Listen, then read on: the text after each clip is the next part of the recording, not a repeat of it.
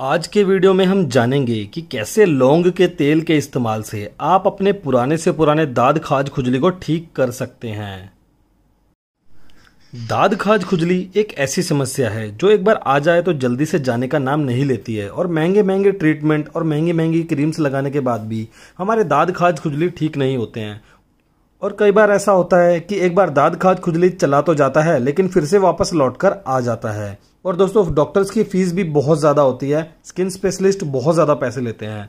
तो फ्रेंड्स आपका दाद खाज खुजली कितना भी पुराना से पुराना हो, इस नुस्खे से ठीक हो जाएगा। तो शुरू करते हैं इस रेमेडी को। इस रेमेडी में सबसे पहले जो हम इस्तेमाल करेंगे वो है दोस्तों एलोवेरा जेल एलोवेरा जेल के अंदर स्किन रिपेयरिंग प्रॉपर्टीज़ होती हैं, विटामिन ई e होता है। साथ ही साथ ये आपके दाद खाज खुजली को खत्म करने में भी हेल्प करती है। ये आपके दाद खाज खुजली को खत्म करके, स्किन को रिपेयर करके, स्किन को पहले जैसा जवान और सुंदर भी बना देगा। तो इसके अंदर हम लेंगे दोस्तों, एक चम्मच एलोवेरा जेल। ये देखिए, एक चम्मच एलोवेरा जेल हमें जो है ले लेना है। इसके बाद जो हम दूसरी चीज़ इस नुस्खे में ऐड करेंगे दोस्तों, वो है नारियल का तेल। दोस्तों, नारियल के तेल के अंदर एंटी फंगल और एंटी बैक्टीरियल प्रॉपर्टीज़ होती हैं। दोस्तों, नारियल का तेल हमारी स्किन के लिए बहुत फ़ायदेमंद होता है और इसके अंदर विटामिन ई e होता है, जो आपकी स्किन को ठीक करने में भी बहुत हेल्प करेगा। तो इसके अंदर हम लेंगे सेम एक चम्मच नारियल का तेल। ये देखिए, नारियल का तेल लगभग हर घर में आसानी से अवेलेबल होता है।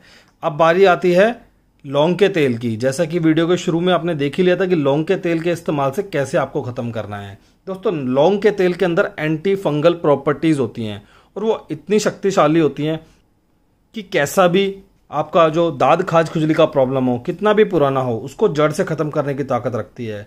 आपने सुना होगा कि लौंग के तेल के कितने सारे इस्तेमाल हैं। कुछ लोग इसे दांत में भी लगाते हैं जिससे दांत का कीड़ा मर जाए और भी कई जगह पर इसका इस्तेमाल होता है। साथ ही साथ इसका फंगल इन्फेक्शन में भी बहुत अच्छा यूज़ है। आपके दाद खाज खुजली कितना भी पुराना हो, ये बहुत जल्दी खत्म कर देगा, हफ़्ते भर में बिल्कुल जड़ से खत्म कर देगा।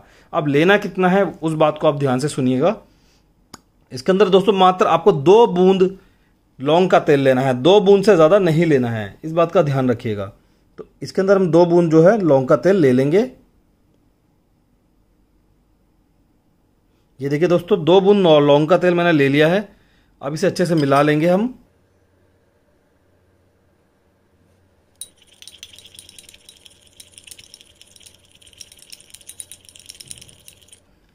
ये देखिए दोस्तों, ये मिक्स होकर लगाने के लिए बिल्कुल तैयार हो चुका है। ये देखिए किस तरीके क्रीम की तरह एकदम मस्त, एकदम बढ़िया बनकर ये तैयार हो गया है।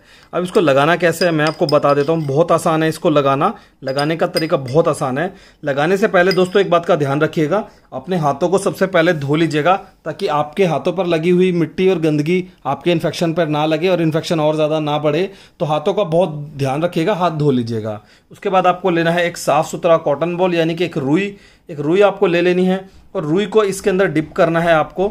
ये देखिए इस तरीके से। और जो भी आपका दाद खाज खुजली वाला एरिया है, जहाँ पर भी आपको इन्फेक्शन है, उस एरिया पर आपको इस तरीके से आपको अच्छे से गोलाई में जो है लगा लेना है। और ध्यान रखिएगा कि मान लीजिए थोड़ी सी जगह पर इतने से पर आपको दाद खाज खुजली है तो इतना नहीं लगाना है। पूरा चारों तरफ़ आपको अच्छे से लगा लेना है। इस तरीके से लगा लेने के बाद में आपको रात को सो जाना है, क्योंकि इसका इस्तेमाल रात को सोते समय करना है। दोस्तों ये आपका रात भर में अपना काम करेगा और सुबह आप उठकर इसको धो लें। दोस्तों, पहली ही बार में आप देखेंगे कि आपकी खुजली बहुत कम हो जाएगी और दाद भी कम दिखने लगेगा, यानी कि दबने लगेगा। और हफ़्ते भर के इस्तेमाल के बाद आपका दाद खाज खुजली, कितना भी पुराना हो, एकदम जड़ से खत्म हो जाएगा। और फ्रेंड्स, साफ़ सफ़ाई का बहुत ध्यान रखें। जो कपड़े आप पहनते हैं, उन्हें बहुत अच्छे से धोकर पहने। किसी के साथ शेयर ना करें कपड़े, ना किसी के कपड़े लेकर पहने। और साथ ही साथ कपड़ों को धोकर धूप में सुखाएँ। और धूप नहीं निकल रही है तो कपड़ों को स्त्री करके पहने, यानी कि आयरन करके पहने। तो दोस्तों अगर ये चीज़ें करेंगे तो आपका दाद खाज खुजली हमेशा के लिए चला जाएगा।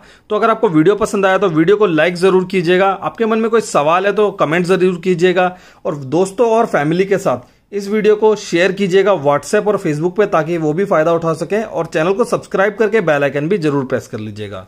थैंक यू दोस्तों।